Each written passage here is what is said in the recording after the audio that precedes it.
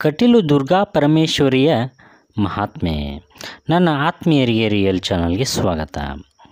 ಮಂಗಳೂರಿನಿಂದ ಸುಮಾರು ಇಪ್ಪತ್ತಾರು ಕಿಲೋಮೀಟರ್ ದೂರದಲ್ಲಿರುವ ಕಟೀಲು ದುರ್ಗಾ ಪರಮೇಶ್ವರಿಯ ತವರು.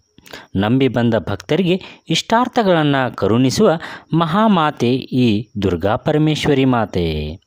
ನಂದಿನಿ ನದಿಯ ದಂಡೆಯ ಮೇಲಿರುವ ದುರ್ಗಾ ಪರಮೇಶ್ವರಿ ದೇವಾಲಯವು ಶ್ರೀ ಶಕ್ತಿಯ ಪೀಠವಾಗಿದ್ದು ಪುರಾಣದ ಮಹತ್ವ ಹಾಗೂ ಪ್ರಸಿದ್ಧಿಯನ್ನು ಹೊಂದಿದೆ.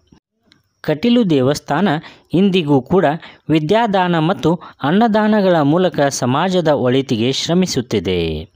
ಈ ದೇವಾಲಯವು ಕರ್ನಾಟಕ ಸರ್ಕಾರದ ಮುಜರಾಯಿ ಇಲಾಖೆಯ ವ್ಯಾಪ್ತಿಯಲ್ಲಿ ಬರುತ್ತದೆ. ಶ್ರೀ ಕ್ಷೇತ್ರವು ಅನೇಕ ಬಗೆಯ ಕಲೆಗಳಿಗೆ ಆಶ್ರಯ ಪ್ರೋತ್ಸಾಹವನ್ನು ನೀಡುತ್ತಿದೆ. ಅವುಗಳಲ್ಲಿ ಮುಖ್ಯವಾದದ್ದು ಯಕ್ಷಗಾನ.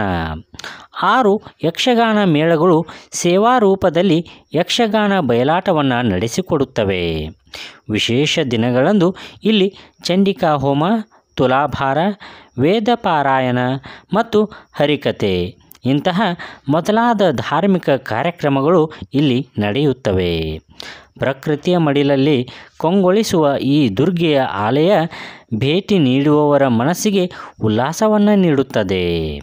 ನನ್ನ ಆತ್ಮೀಯರೇ, ಇಂತಹ ವಿಶೇಷವಾದ ವಿಡಿಯೋಗಳಿಗಾಗಿ ರಿಯಲ್ ಚಾನಲನ್ನು ಸಬ್ಸ್ಕ್ರೈಬ್ ಮಾಡಿಕೊಳ್ಳಿ ಲೈಕ್ ಮಾಡಿ ಕಮೆಂಟ್ ಮಾಡಿ ಹಾಗೂ ಶೇರ್ ಕೂಡ ಮಾಡಿ. ಧನ್ಯವಾದಗಳು.